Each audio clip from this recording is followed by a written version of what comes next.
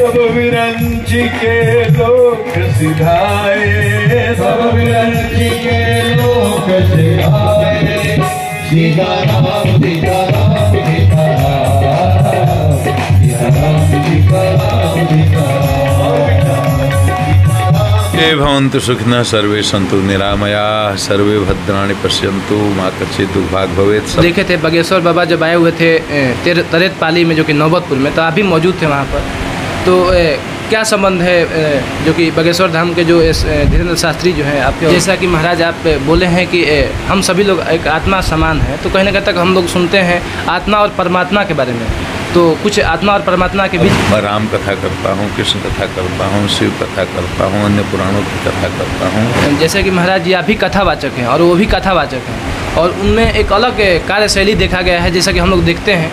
ये जो कि ये हनुमान जी से ये पर्ची निकलवाना ये कौन कहीं हद तक ये सत्य है या फिर क्या सोच रखते हैं उनके बारे में? समाज में आज जो भी अन्याय है अत्याचार है शोषण है जुल्म है पापाचार है भ्रष्टाचार है जो भी है उसका मुख्य कारण ये है कि आदमी की चेतना में गिरावट आई है। जाकर के आप खुद टेस्ट करिए पता चलेगा हमसे क्या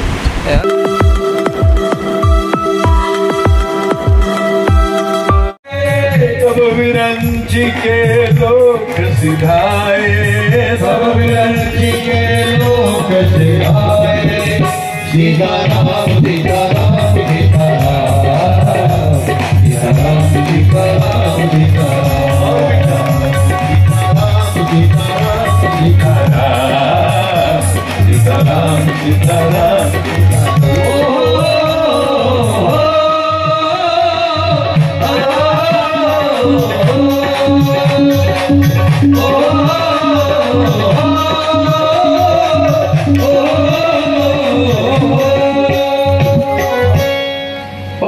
इस वक्त हम मौजूद हैं आचार्य गुप्तेश्वर जी महाराज के साथ और जो कि आप सबको बता दें।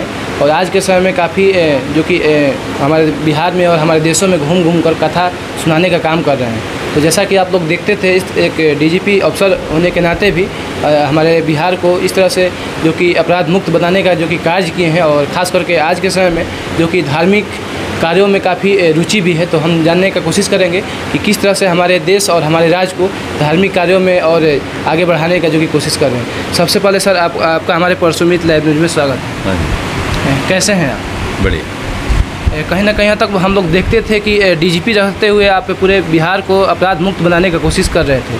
और आज के समय में कथावाचक के रूप में काफ़ी प्रसिद्ध भी हैं और हमारे बिहार ही नहीं हमारे देश के में प्रसिद्ध है तो क्या कहना चाहेंगे? ठीक ही है, वो अपना अलग काम था ये अपना अलग काम था। देखो, समाज में आज जो भी अन्याय है, अत्याचार है, शोषण है, जुल्म है, पापाचार है, भ्रष्टाचार है, जो भी है, उसका मुख्य कारण ये है कि आदमी की चेतना में गिरावट आई। आदमी समाज बनता है, समाज से राष्ट्र बनता है। जब व्यक्ति की चेतना में गिरावट आएगी तो समाज की सामूहिक चेतना में गिरावट आएगी, फिर समाज की सामूहिक चेतना में गिरावट आएगी तो राष्ट्र की चेतना में गिरावट आएगी। तो समाज को अगर आगे बढ़ाना है राष्ट्र को अगर सचमुच विश्व गुरु बनाना है तो और समाज से अन्याय अत्याचार शोषण जुल्म पापाचार भ्रष्टाचार मिटाना है आपसी सद्भाव प्रेम एकता भाईचारा बढ़ाना है तो नैतिक मूल्यों को महत्व देना होगा। आदमी की चेतना में उत्कर्ष लाना होगा। अधिकांश लोग तमोगुणों और रजोगुण के प्रवाह में हैं। जब तमोगुण का प्राबल्य होता है तो आहार निद्रा भय मैथुन बस यही तक मनुष्य की सोच रहती है। यहीं तक गति मति रहती है। जब चेतना में रजोगुण का प्राबल्य होता है तो अनंत इच्छाएँ अनंत वासनाएँ अनंत कामनाएँ और यहीं से अन्याय अत्याचार शोषण जुल्म पापाचार भ्रष्टाचार की शुरुआत होती है। चेतना में जब सत्व का उत्कर्ष होता है तो आदमी के अंदर क्षमा, दया, करुणा, सेवा आदि दिव्य भाव जन्म लेते हैं।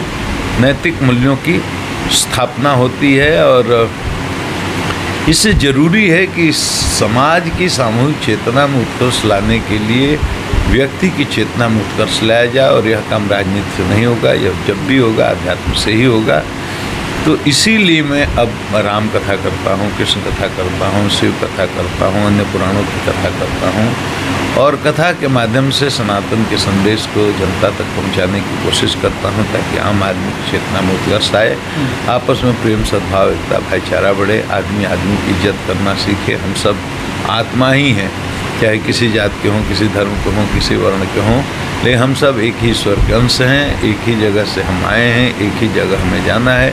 ये ज्ञान जिस दिन हो जाएगा, समाज में बहुत बड़ी क्रांति हो जाएगी।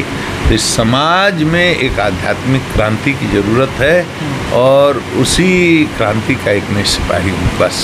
जैसा कि महाराज आप बोले हैं कि हम सभी लोग एक आत्मा समान है तो कहीं ना कहीं तक हम लोग सुनते हैं आत्मा और परमात्मा के बारे में। तो कुछ आत्मा और परमात्मा के बीच का जो रहस्य है कुछ जानने का हम देखिए अब ये सब बड़े गहरी बातें हैं। आत्मा तो हम सब ही हैं लेकिन हम अपने को शरीर समझते हैं।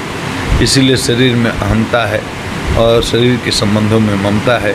जिस दिन हम अपने को आत्मा समझ लेंगे उसी दिन जात के झगड़े ख़त्म उसी दिन मज़हब के झगड़े ख़त्म उसी दिन बड़े जोड़े के झगड़े ख़त्म उसी दिन अन्याय शोषण जुर्म अत्याचार पापाचार भ्रष्टाचार सब समाज में ख़त्म हो जाएगा। समस्या ये है कि हम नहीं जानते। अब इस आत्मा से परमात्मा तक की यात्रा अ, कैसे की जाए आपका संकेत यही पूछने का है। तो इसके कई रास्ते बताए वेदों ने कर्म मार्ग बताया इसके बाद में ज्ञान मार्ग बताया इसके बाद में भक्ति मार्ग बताया। ज्ञान मार्ग बहुत कठिन है। निष्काम कर्म योग करना भी बहुत कठिन है। सबसे सरल रास्ता है भक्ति मार्ग। भक्ति मार्ग में ईश्वर की शरणागति करके आदमी स्थवान होकर के श्रद्धा और विश्वास के साथ अगर उनका कीर्तन करे, उनका भजन सुने, उनकी लीलाओं का स्मरण करे, कथा का श्रद्धा से श्रवण करे तो धीरे धीरे चित्त शुद्धि होती जाती है। व्यक्ति के पर्सनालिटी में निखार आता जाता है, तमोगुण से रजोगुण रजोगुण से फिर सत्व में जाकर के प्रतिष्ठित हो जाता है और वहाँ प्रतिष्ठित हो गया तो समझो कि समाज में क्रांति हो गई बस। जैसा कि हम आपको देखे थे बागेश्वर बाबा जब आए हुए थे तरेत पाली में जो कि नौबतपुर में तो आप भी मौजूद थे वहाँ पर। तो क्या संबंध है जो कि बागेश्वर धाम के जो धीरेन्द्र शास्त्री जो हैं आपके और उनके बीच में? बड़े हमारे निजी संबंध हैं। हम उनको बहुत प्यार करते हैं और उनकी कथा का कार्यक्रम था तो हमें भी निमंत्रण था तो हम गए थे मिले अच्छा लगा बस। जैसे कि महाराज जी आप भी कथावाचक हैं और वो भी कथावाचक हैं। और उनमें एक अलग कार्यशैली देखा गया है जैसा कि हम लोग देखते हैं। ये जो कि ये हनुमान जी से ये पर्ची निकलवाना ये कौन कहीं हद तक ये सत्य है या फिर क्या सोच रखते हैं उनके बारे में इस तरह के हम तो हम उनके बारे में हम जि- जिसको आदमी प्यार करता है उसके बारे में क्या सोच रखेगा आप इसे समझ जाइए हम तो बहुत अच्छी सोच रखते हैं उनके बारे में। तो ये पर्ची निकालते हैं? उसका ज्ञान मुझे नहीं। वो दिव्य शक्ति उन्हीं के पास है वो मेरे पास नहीं। तो दिव्य शक्ति मतलब ये हो सकता है मतलब है उनके पास है। जा कर के आप खुद टेस्ट करिए पता चलेगा हमसे क्या अंत में कल्याण के लिए हमारे पृथ्वी पर जितने हैं क्या कहेंगे? सर्वे भवन्तु सुखिनः सर्वे संतु निरामया सर्वे भद्राणि पश्यंतु माँ कच्चित भाग भवेत सबका कल्याण हो। हर ब्रह्मा की सृष्टि में जो चौरासी लाख जीव केवल मनुष्य में सबका कल्याण हो सबका मंगल हो सर्वत्र एकता हो सद्भावना हो भाईचारा हो और सब आनंद में जिएँ और उस परम आनंद को इसी जीवन में प्राप्त करें। यही जीवन का अंतिम लक्ष्य है।